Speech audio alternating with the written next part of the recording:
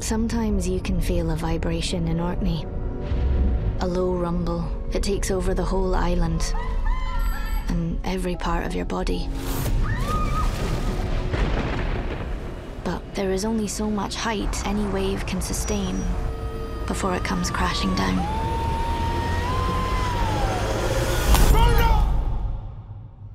Given the the fact that you both have a bit of distance from the film now, has anything come into focus for each of you that you didn't realize at the time that you were making it? I think for me, um, letting go of what I think the process of making a film should be was really important.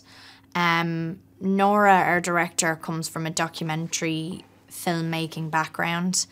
And so she had a very particular way of working where it was very much like piece by piece and letting the project evolve as we moved forward with it and as more people joined the creative team. And I think because I'd never produced anything before and I hadn't been involved when nobody knows what's going on and nobody knows what it's going to be yet, um, initially that sort of scared me. And now I feel like after working with her and then working with Steve McQueen soon afterwards, who kind of works in a similar way actually, um, it gave me more, it made me feel calmer about just trusting the process and knowing that it's okay not to know everything straight away. Because of the yeah the nature of the way we were working, I always knew that I I, I kind of wouldn't really have a feel for what it was going to be like until this time you know? Even as we the, the it, it, it was kind of so all encompassing the the the atmosphere of work you know it was so focused on creating creating you know character relationship and something that we were kind of creating in the moment on not on the hoof but like yeah in the room that there wasn't really that much time then to have an outside eye or or too much of a, an analytical eye on well I wonder what this shot's going to be like mm. oh I wonder uh, oh, oh, it's weird that he's lighting it like that whatever like that I, I kind of knew that and at the time you know I kind of like, allowed myself to just like you know absent myself from thinking about that but that also meant it was all the more satisfying when I finally got the opportunity to see the movie and and just like yeah see the scope and the grandeur and the beauty and yeah the the truth and simplicity of it. I'm sorry. I can't hear you say that again. I wish you were a completely different person. The urge to drink can come out of nowhere. You think you're doing well. Suddenly you want nothing more than a drink. Saoirse, given the subject matter, the fact that you're in every scene, it's your first film as a producer and the the pretty rough weather that you had to deal with. Was this the toughest film that you've made? No, it wasn't. There's other movies that I've done that have um, psychologically been more difficult to get through than this. I think actually because so much of it was built around me and I was able to shape it not that I ever wanted anything to be easy, but in terms of the process of making it, I could kind of we could build it in the way that would serve myself and the other actors best.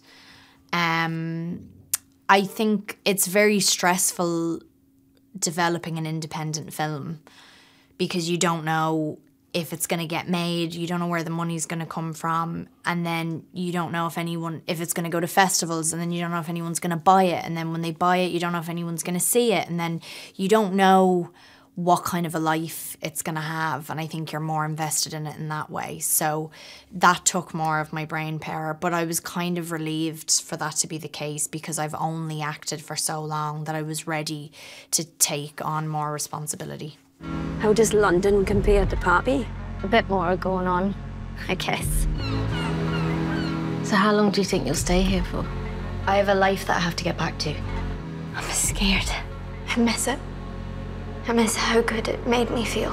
What has surprised you both about people's reactions to the film? Has there been something where you went, wow, I wasn't expecting to hear that back? I mean, we had a journalist who came in a while ago who highlighted a really interesting mm. aspect of the movie, which is about young carers and how actually we see Rona, who is, you know, in her late 20s, early 30s, and she uh, is taking care of her depressed father. And in flashback, we see her do the same. And so we see the effect that that has on her own mental health and how she views the world.